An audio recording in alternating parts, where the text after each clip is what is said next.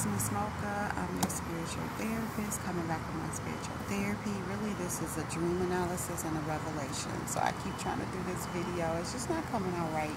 I'm trying to get every key thing but make it as short as possible and it keeps up keeps being so long. But anyway, let me get into it.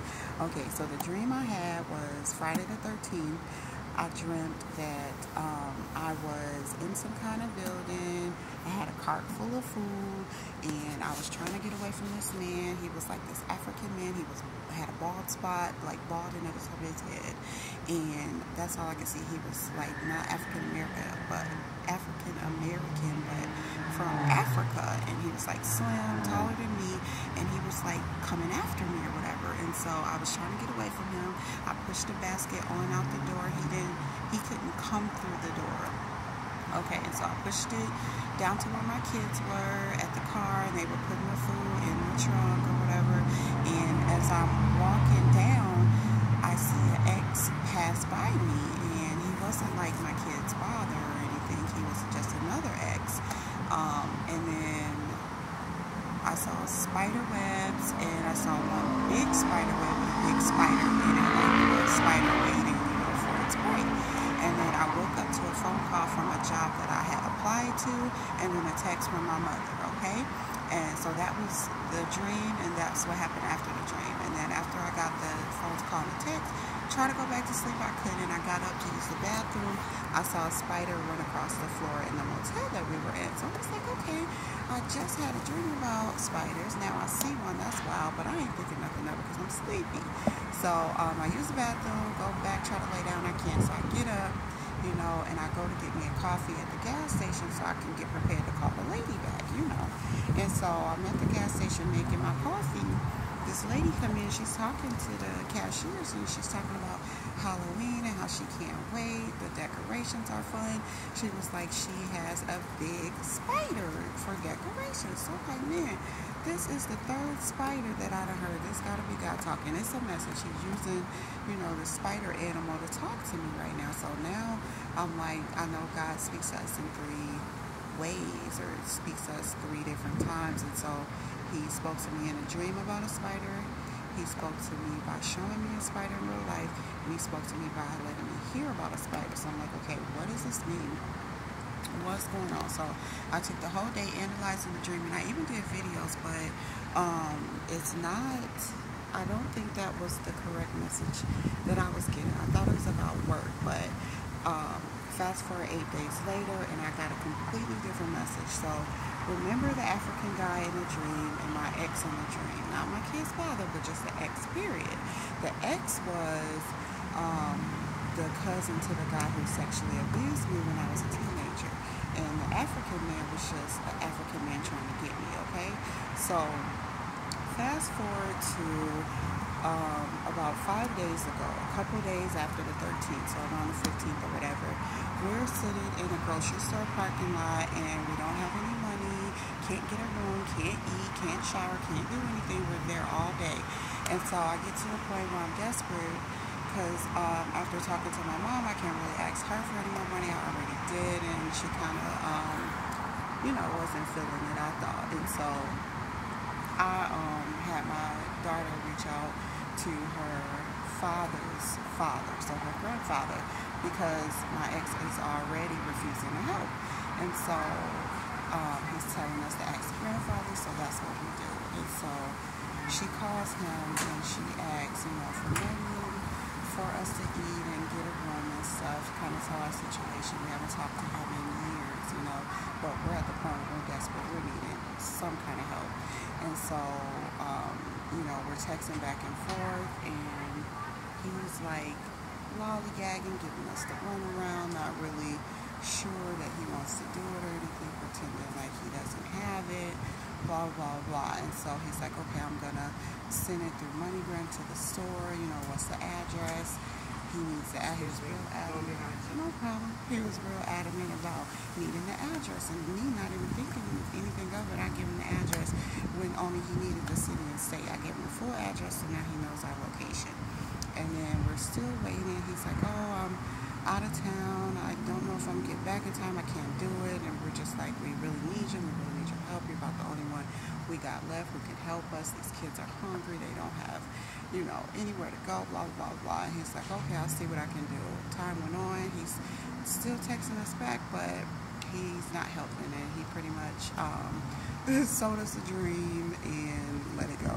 And so we had to end up just sitting there without eating or showering or having shelter or anything, which we did before. So it was fine. Um, then this man pulled up on me asking me if I needed a place to stay. So I'm like, yeah, you know one? And he's just like, um, well, I knew, know a guy who's renting a four bedroom, you know, me, and then there could other people. So basically trying to get me to rent with him and um, some other people. I'm just like, no, not interested in that. I have children and a pet and all that. I'm looking for something else.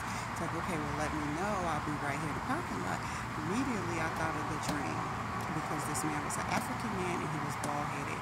He was my color, slim, taller than me, just like the man in the dream. The only difference would be, oh goodness, only difference was that um, he didn't have on the same clothes as the guy in the dream, but he was still African. He was still um, had the bald. And so it uh, immediately reminded me of a dream. And then I got an uneasy feeling about the guy because he parked like close to us. And I'm thinking like, oh no. And then I remember the cart full of food. And I'm just like, oh no, we're at a grocery store.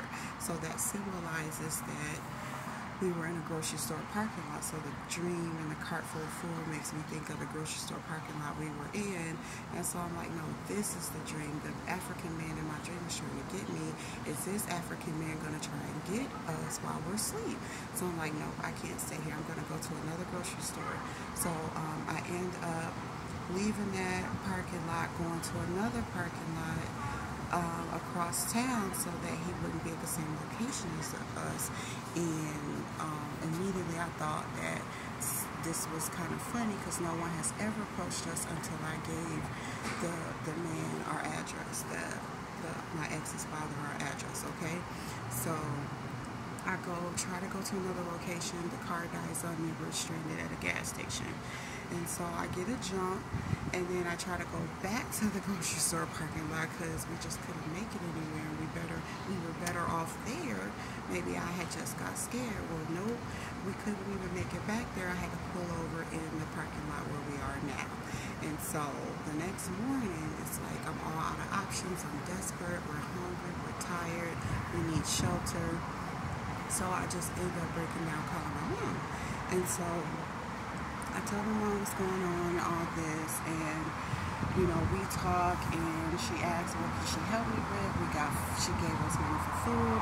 We tried to fix the car by putting oil in it and that tapped her out of her money.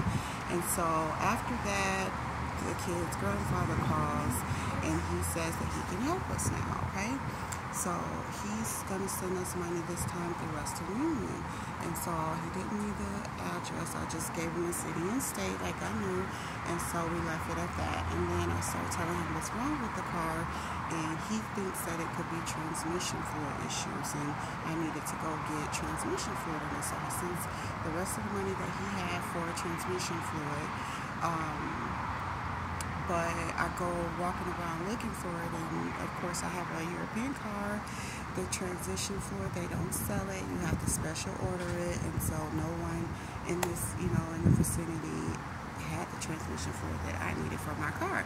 So I get back to the location and I tell my ex's father, like, because um, I'm speaking with him directly. My ex is not involved, and I told him that I can't be involved with my ex. He does not. We don't do well. He likes to argue. He likes to um, get aggressive. I'm not doing that anymore. I can I can only talk with you directly. Cool.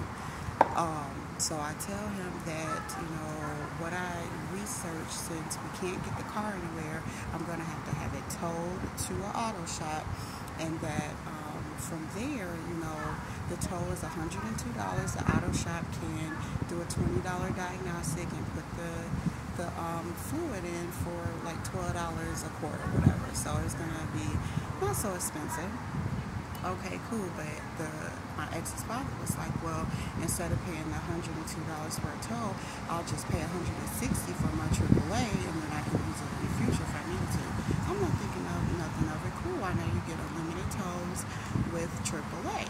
So even though he didn't put me on his AAA, my son, you know, has the same name as them. So he's like the third, so their name is all the same. So he could pretend, you know, to be him, put it in his name, whatever. It worked out. So he gets it towed up there, and come to find out, they do the diagnostic and they tell me that it's nothing that we thought. It's the battery and it is the alternator. The alternator died and it killed the battery also. So it's like no one has the money to pay for that, so the car needs to come back to the location that it was at. So that's how he got the address again because he did AAA for us and he had the car towed from the spot that it was at up to the shop and then back to the spot from the shop.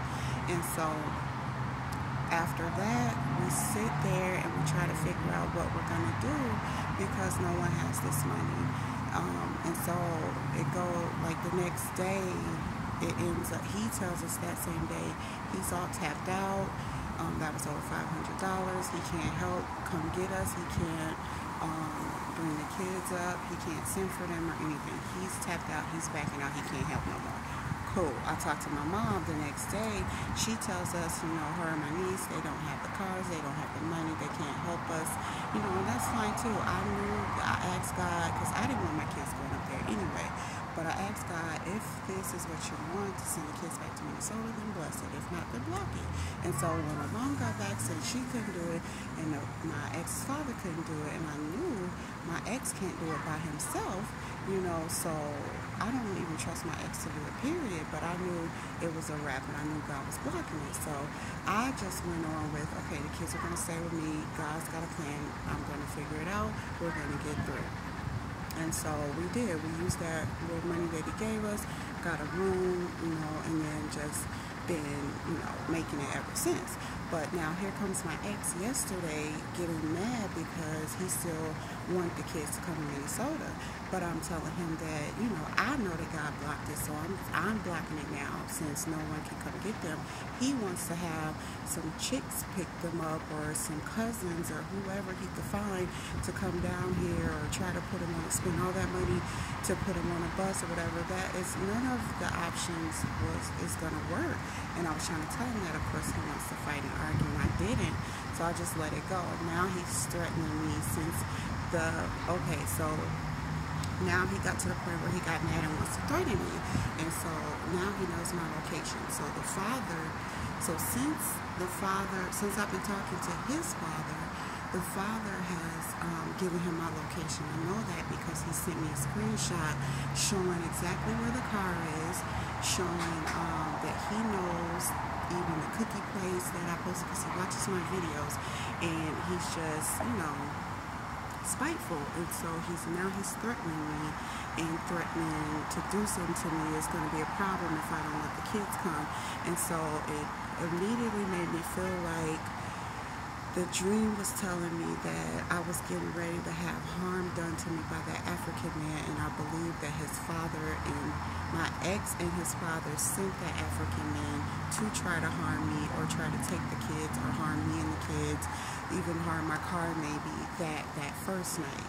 And then now that my ex, that his father gave him my location for where the car is the second, the second time, now my ex is threatening to come and take the kids from me or have, um, you know, his cousins or some females or whatever bring him down here. And it's going to be a problem if I don't give him the kids or he's going to have the cops called on me, send the cops over, have Child Protective Services get involved, have them try to take my kids from me, uh, well not my son because he's 18, but my daughter from me, and just, you know, being real aggressive and spiteful and threatening me. And so it's all because his father gave him my location, and I believe he gave him my location both times. So I believe that's what the dream was trying to warn me that um, there would be some domestic violence or maybe even sexual violence if I would have stayed in that parking lot. And so God protected us by having us move, change locations, and having a car die so they wouldn't know where we were at. And then I just fell into the trap of giving him the location again um, because I was trying to get it towed in the AAA. He, that was the only way he was going to do it by his own AAA. And so that's how he was able to get the address again. Gave it to his son. Now his son is threatening to come down to us and, you know, do whatever. He's not of God. He doesn't handle things in a respectable, godly manner. He's abusive. And so he's going to come and try to use force and abuse or whatever to get my daughter away from me. It's not like, you know, he really wants her. He's had his opportunities and chances to have her and it never worked out. God has always blocked it and took us away from them. And so, of course, he's not going to understand that because he's not listening to God.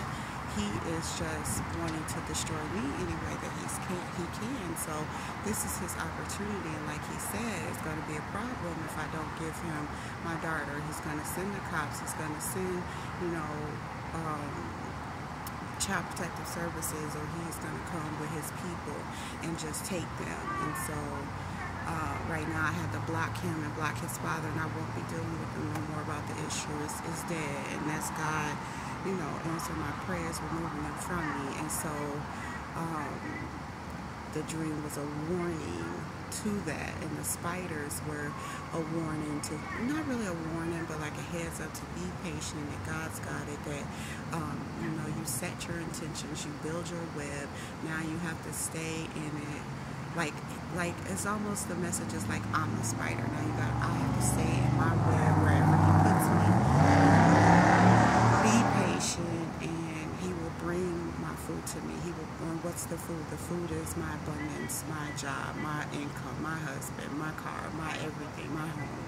Um, so it's it's really him telling me be patient one day at a time and it's probably also telling me because the spider talk it did it talked about a lot of things like being creative and creating things talked about growth it talked about life death and um, uh, rebirth it talked about, uh, you know, the patience and all that. And so what I think God is um, also trying to tell me is that that old life is dead and it's over with and my new life is getting ready to begin. But I have to recognize who are who's the dead weight in the, my life and cut them off. And so it's like he's showing me that right now. These people, they weren't for me and the kids. They're trying to harm me. That's why he was so um, happy to have my location so that he could come and try to do something to me. Maybe even the kids too. I don't know. But, um, he, you know, it gets to the point where it's unsafe for us to be around him. And so he doesn't know the location where we're at now because now we have a room, but he knows the location of the car. But I know I've been reading Psalm 91. I wanted to read it here, but I forgot the Bible inside. But I'm sure most people know what Psalm 91 verses is the protection prayer. And I know angels are around us. I know God got us protected. I know that this man cannot hurt us anymore. Even if he does have the location, God already know. He is in control. And he is not going to let anything happen to me and the kids. He never got us this far for um, to just leave us and let us be in harm's way. No, he's going to protect us.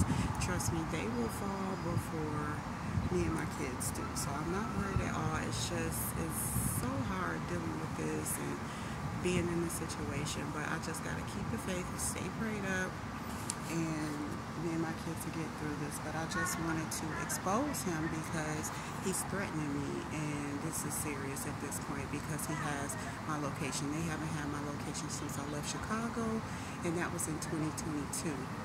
So now that he has my location, he is going to try his damnedest to do anything to try to kill, steal, and destroy me.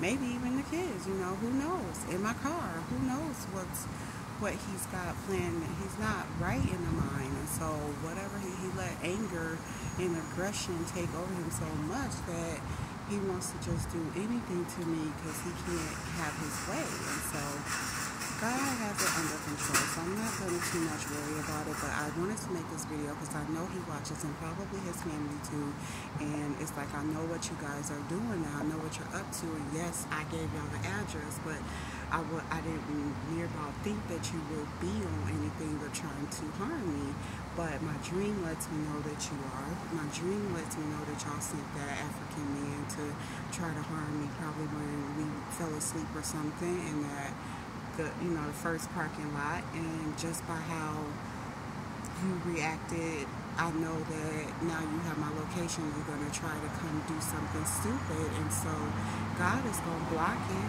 He already is. I trust in Him, and I know that me and the kids are gonna be okay, and that you won't get a hold of us. Even if you try to come down here, you won't find us. So I suggest you just stop.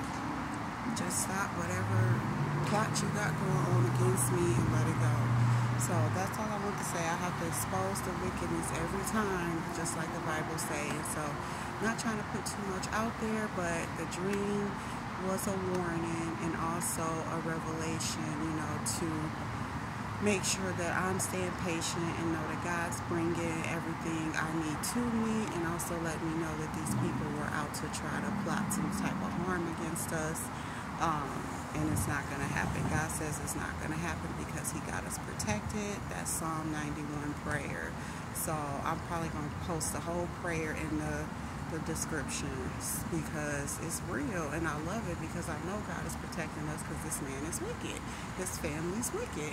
And whoever else is riding with him is wicked if you're trying to come and do some harm to me when I ain't done anything and no one but take these kids so that they can have a better life. And although it doesn't look like a better life now, it is better than being abused and ridiculed and talked down on and trying to buy their love instead of actually being real support to them and loving to them. So that's all I wanted to say. This is my dream analysis and my revelation of what God told me using the spirit animal, the spider and how it helped me or how he protected me from harm and how he tried to show me, you know, that domestic violence or sexual violence was about to come on me again, but he blocked it. So thank you, Lord. Thanks for listening, y'all.